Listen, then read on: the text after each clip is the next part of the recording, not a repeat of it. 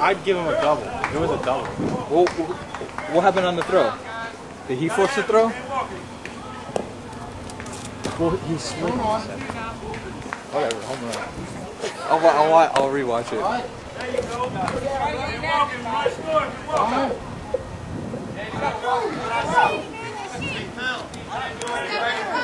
How many outs are there?